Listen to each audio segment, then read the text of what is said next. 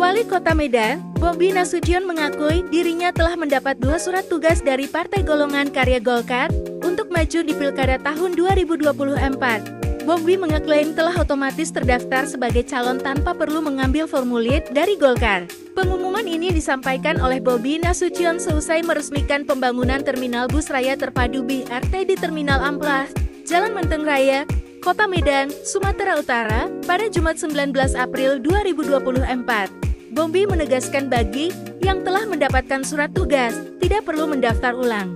Meskipun sudah mendapat tugas dari Golkar, Bobi Nasution belum mengungkapkan apakah ia akan maju sebagai calon gubernur atau wali kota Medan.